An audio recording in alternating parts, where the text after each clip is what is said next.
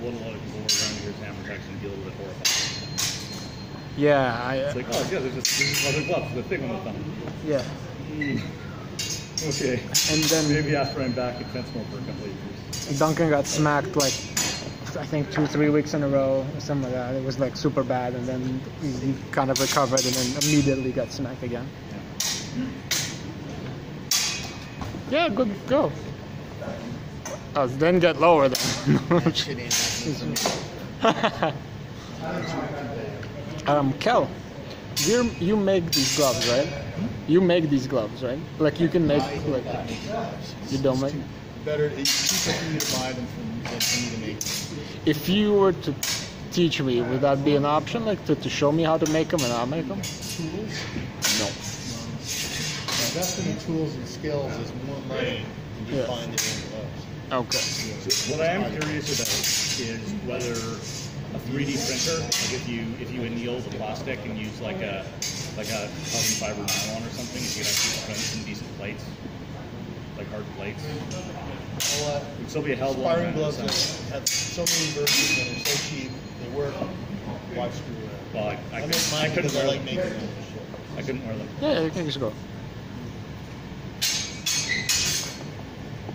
Because I've heard, uh, actually, I've heard of Asian students at schools, right? The dads will get them like sixty thousand dollar 3D printers, so that they don't have to do their own projects, printing projects, and they would like obviously make money off of that. Because then You it's can, another. get, you can get 3D printers for less than two hundred dollars now. Well, now, yeah, They're but at great, the time, at you're the not time, trying, yeah, Yeah. if you're not trying for detail, oh yeah, uh, a very low end 3D printer will do what you want.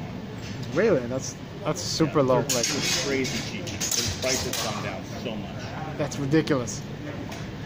Because you can, yeah, I saw somebody I 3D just don't know how, like they're surprisingly strong from like bending them. these ones. Yeah. Or- or the- the I ones you print. Know how well they would stand up to sharp impact. 'Cause Right, they're full right, of seams, right, right, right? right, right, So if you hit it with the seam, I don't know whether they would hold up. Oh yeah, yeah. Because there is an explosive element to it, kind of like a, Yeah. you know. But on the other hand, um, like I know if, if you heat them and let them cool down over time, Mm-hmm. like you can get much stronger print. I don't know if anyone's ever tried it.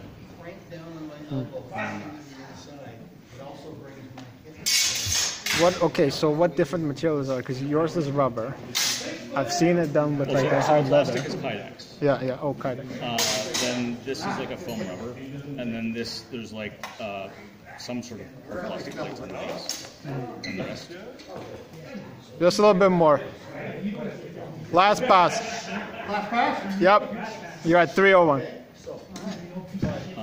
There's a company making some really impressive looking articulated gloves. Well, it's like so. The other thing is, um, I did an early prototype of these years ago, where I went with uh, like the scale fingers.